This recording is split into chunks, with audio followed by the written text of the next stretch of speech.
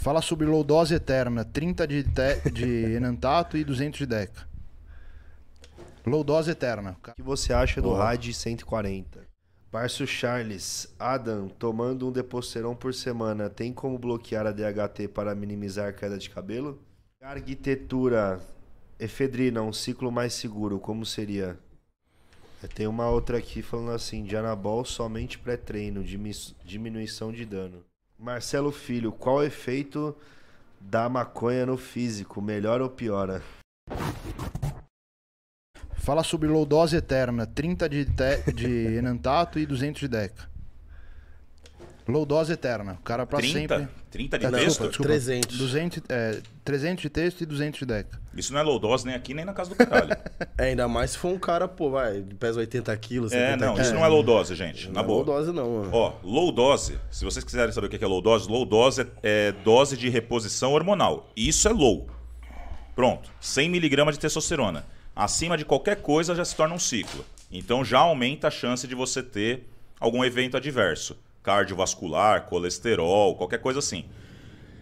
Quando que vai dar merda? Não sei. Você pode ficar 30 anos usando essa bosta e não te dá nada. E daí daqui daqui 5 anos depois desses 30, você vai lá e tem um infarto.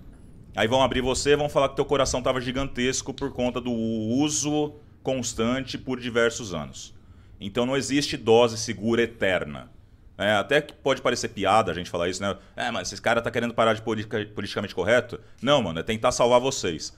Vai fazer a porra de um, de um ecocardiograma, vai ver como é que você tá, pelo menos uma vez por ano. Você era assim, você começou a se cuidar mais, ó quanto você evoluiu. Verdade. É, a real é essa, irmão. Você quer fazer as paradas? Beleza, vamos trabalhar com contenção de danos. O problema é que muita gente, Ed, não quer investir nisso, pensando no longo prazo. Eles querem pensar no, no curto prazo, na resposta do shape, pensando no shape daqui a 30 anos, cara. Você quer pensar no seu shape daqui a 30 anos? Você tem que se cuidar. Tem que estar vivo, né? Tem que estar vivo Pensar daqui a na 30 saúde, anos. né? Começa pelo básico, né? Você entendeu? Não, com certeza. E, e, cara, tira da cabeça que 500mg por semana é low dose, tá bom? Ainda mais de texto e deca. Não é low dose, não. Tem mais um superchat, Baguinha? Tem, tem. É, falando assim. hum, o Eduardo Moradi lá da Integral mandou assim: O que você acha do RAD 140? Eduzinho, Eduzinho é funcionário da Integral lá. Gente boa, Edu, hein? Salva Você é no foda. Eduzinho. Edu acompanhando sempre. E agradecer a audiência de duas mil pessoas na live. Raiz. Porra, Sim, irmão. Tamo junto, estourado. gente. Duas mil aí. quebrando Caramba, recordes, hein? Bora estourar, O Ada é então. o cara. Não, ó. Edu, né? Edu. Edu, seguinte. RAD 140. SARM. Galera tem que entender o seguinte. Isso aqui, né? O Vegeta e o Goku aqui é o esteroide. essa parada aqui é o SARM, né? São bem parecidos, né? A diferença é que, teoricamente, o esteroide se liga no receptor em todos os tecidos do corpo e o SARM se ligaria só no músculo. Essa droga existe? Não. Real é essa, não existe. Fazia tempo que eu não escutava coisa, alguém falando de SARM. Isso aqui é meio que mito, tá ligado? Tem umas que são um pouquinho mais próximas de SARM. Por exemplo, o RAD 140 é uma molécula promissora, mas não é livre de risco também, né? Tem alguns que já mostram aí que ela também tem um efeito androgênico, pode ser até meio tóxica, né? Fígado, rim, essas coisas. Outros SARMs, mesma coisa. Porra, atendi um menino que usou fez ciclo de SARM, né? Usou Starine. E eixo inibido, Caramba. igual esteroide, colesterol fudido igual esteroide. E aí eu falo, ah, e detalhe, perfil hepático também fudido igual esteroide. Eu falei, porra, não era mais só ser feito um ciclo de textugel coxandrolona, irmão? Exato. Exato. Pô, tá Tô com mandado, medo de se né? furar qualquer coisa? O que mais... Marcelo Filho, qual o efeito da maconha no físico? Melhora ou piora?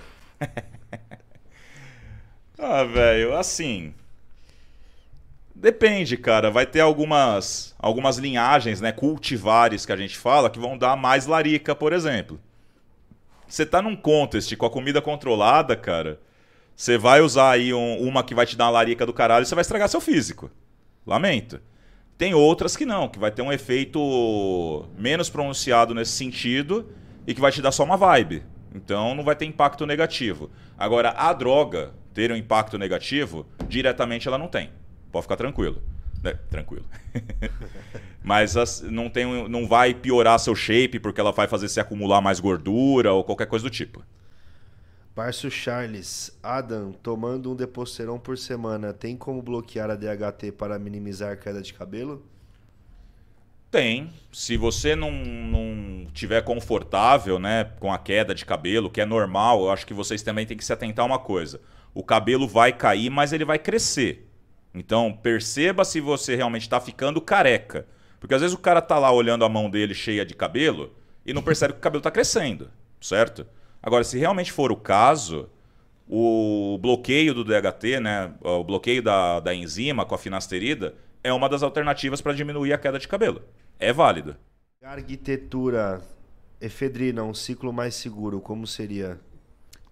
Cara, Faz tempo que não falam de efedrina. também. É, então, e a efedrina foi muito utilizada, cara. Eu mesmo usei né? muito. O ECA. Eu mesmo usei muito no- nos meus começos de preparação, porque Clem era um negócio que era um pouco mais difícil de ter acesso. Era só casa veterinária, essas coisas. Efedrina eu pagava 5 conto no Franol na farmácia, o cara deixava separado pra mim 10 caixas. Sempre. E problemas da efedrina, cara. Ela é uma pseudoanfetamina, né? Se a gente for pegar a estrutura molecular dela, ela é uma anfetamina real, é, mas muda um pouquinho na- na- ali na base. Ela vai ter os mesmos efeitos, então ela pode causar dependência, ela pode ter efeito ruim no sistema nervoso, né? ela pode deixar meio, meio na bad, alguma coisa assim. E ela tem rebote. Tá- Tá difícil de passar aí, filho? Criança pequena. Tá foda, viu, cara? Mas então, ela vai trazer um efeito de bad também pô, na hora que você tira. Olha, dosagem segura de efedrina não existe necessariamente, né? O que, que a gente observa aí como uso corriqueiro por parte do- da população? De 15, né, vamos dizer assim, 15, é, 12, na verdade, né, descontando o sulfato. Então, uns 12,5 até uns 48, 50 miligramas dia, dependendo de como você for fazer uso. Trocando em miúdos, na- se a gente fosse colocar o franol, um franol tem 15 miligramas, certo? É de um franol até 6 franol por dia, que o pessoal costuma utilizar. 3 pré-cardio em jejum, 3 pré-treino. Não julgo correto, não julgo legal, mas é utilizada, tem efeito termogênico, pode auxiliar também na perda de gordura dentro do planejamento adequado. Mas pode te fuder, pode te dar gastrite, forte, eu sofro muito com isso até hoje, né? Combinado com a aspirina e junto com a cafeína pode piorar ainda mais, pode vir a se tornar uma úlcera, né? Que nem eu já falei, ela tem efeito do sistema nervoso forte, ela pode te deixar depressivo, dependente, e depois que você tira, você tem aquele puta rebote, você não consegue mais ter um metabolismo bom, né? Você começa a acumular muito mais gordura do que aquilo que você gostaria, mesmo fazendo tudo certinho. Teu metabolismo fica uma bosta. Acho que a pior bad que eu já tive foi de ECA. Então, Pior bad, a pior sensação. Um negócio que parece que tá, você tá descarregando uma, um, um nível de adrenalina que você fica assim o tempo inteiro tenso, mal, mal. E assim, até a hora, a hora de dormir, cara. sim, É muito sinistro. você dorme triste, né, na real. Sim, sim. É, Tem uma outra aqui falando assim, de anabol somente pré-treino, dimi- diminuição de dano. É uma alternativa. É uma alternativa como a gente comentou. Por exemplo, se fosse para fazer um protocolo de pulso, de correção, porra, escolhe só no pré-treino para poder utilizar o máximo dele naquele momento, que é o mais, vamos dizer assim, anabólico do seu dia. E utilizar somente em dias que realmente é mais indicado. Por exemplo, quer corrigir o posterior, essas, co essas coisas seriam, vamos dizer assim, o mais indicado nesse sentido. Certo? Lembrando que eu não estou fazendo indicação para nada, não é, É. não é vocês tomarem nada, caralho.